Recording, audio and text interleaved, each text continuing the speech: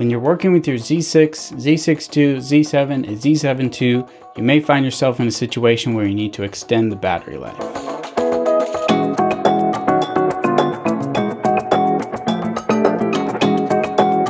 Whether you're shooting video, taking time lapses, or even taking photos, you may need to extend the battery life of your Z6 or Z6 II. I've got a couple good methods that can help you do that.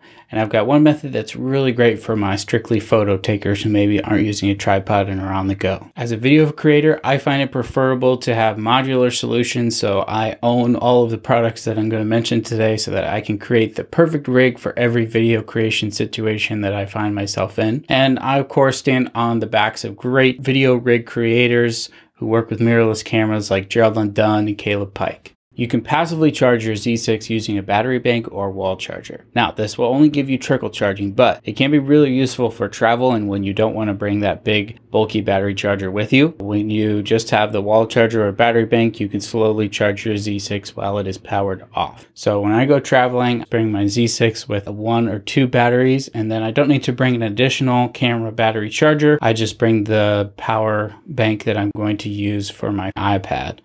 You can actively power your Z6 or 7 using an NP-F battery plate. I like this version from SmallRig because it has two outputs, one for the camera and one for your monitor. If you don't think you're ever going to power a monitor along with your camera, you can use this one that I really like from BlindSpot. It's a really simple stripped down NP-F battery plate with USB inputs and outputs that's a really helpful tool. It's also a little smaller than this one and lighter. If you're ever going to need dual powering options, if you want to power a monitor or other accessories, then I think this is probably the best option. The most important thing to know with these kinds of cheap battery supplements is you don't want to fry your camera. I have fried my camera before using a USB power solution and a V-mount battery, and the advice I now follow helps protect me from any further problems. So the problem comes when you're trying to power a camera and a monitor and an HDMI cable connecting the camera and monitor all from the same source. So the advice I follow is always make sure to plug in the power cable first and then connect the HDMI cable and power off the camera and monitor before plugging them in. The battery solution I use hinges on two things. The first is these quick release plates that I got from SmallRig they twist into the bottom and I have different power solutions uh, screwed onto the top of them. Now if I had to do it all again, I would probably switch and use NATO rails for this because these uh, plates, although they're low profile, it's really annoying to always have to be twisting them around. The other core part of my rig is these 6 plus inch Arca Swiss plates. I prefer these ones from Benro because they fit onto the Peak Design travel tripod and the Kessler quick release plates. And those are on top of all of my tripods and monopods that I use. The Z6 II is a tad bit more flexible when it comes to external powering options. The simplest way to power your Z6 for a really long time is with a USB-C cable and a USB-C wall adapter. These are very common items. You might already have something that you use to charge your tablet or laptop. And the fact that you can just plug those into your Z6 II and get almost infinite runtime is really convenient, cheap, and very useful. When you plug in a USB-C PD power source to your Z6 II when it has an EN-EL15c battery inside it, you'll get the little plug icon on the screen and that will let you know that your battery is running for a near infinite amount of time. It still does trickle drain the battery a little bit, but it will get you quite a bit of battery life. I really like this SmallRig battery bank holder because it's really easy to pull batteries in and out of it and it can fit lots of batteries of different sizes. Nikon makes two battery grips, the MB-N10 and MB-N11. The 11 is only compatible with the Mark II devices, whereas the N10 is compatible with all the Pro Z bodies. These products, of course, extend the battery life, but they also increase the ergonomics of these cameras that already have a really great hand feel. I really like how the hand grip extends down below and gives that extra room for your pinky. If you're a person with larger hands, you might want to leave this battery grip on your camera full time. I personally never let my cameras go to sleep because I do a lot of external recording with Atomos monitors and ATEM units. So having battery solutions that last a really long time but are also nice and tidy on the rig is really important to me. And I, on every shoot, use a combination of battery grips and those uh, NP-F battery plates to power my cameras for long amounts of time. The dual battery grips also offer a feature that is only available with one of them, and that is the ability to hot swap batteries. Everything else that you do will involve turning the battery on and off when you want to plug in a new power source or something like that. But with these, they both have the ability to access one of the batteries and put in a fresh one without having to turn the camera off.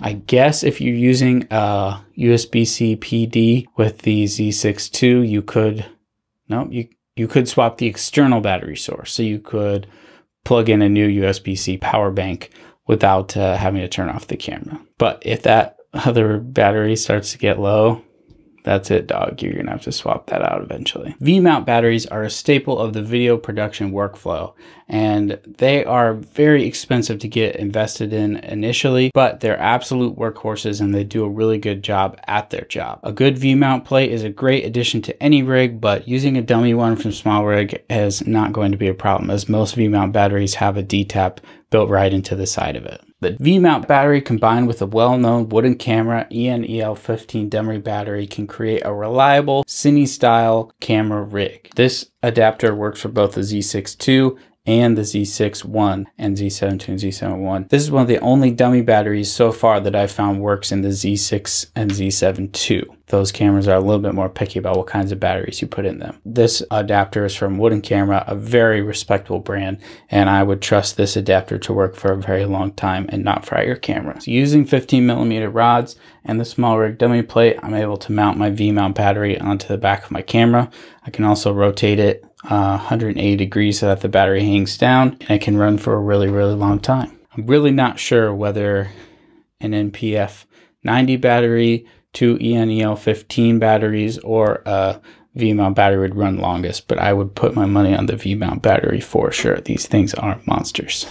So as you can see, there are many ways to power your camera, and it's reasonable to only do one or two of these. I personally like to have all the options in front of me that's why I own all of these pieces of gear and then I can choose whatever I want to choose for a given situation. Something I love about the Z6 II and the 24 to 70 2.8 is when you have those two pieces of gear, you can shoot almost any kind of video. And when you add a really long battery to that, you are really set up to be able to shoot any kind of production. This option right here, the USB-C wall plug and USB-C power cable are about $30 if you get a slightly cheaper cable than this one and you can run your Mark II camera for a very, very long time. That's definitely the best budget option when it comes to adding battery life to your Z camera. Now the grips are really expensive, but I love both of them so much and I barely ever take them off my camera. So if you want the nice and tidy solution that also adds great ergonomics, but is very expensive, I recommend one of those battery grips. Once you get them screwed in nicely, they really feel like an extension of your camera. Links to all the products that I mentioned are down below. Thank you for watching this Golden Toucan video.